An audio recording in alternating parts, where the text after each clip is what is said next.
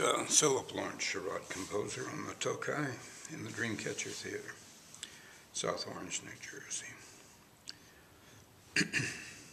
Going to play a piece uh, with belatedly a little slow tempo.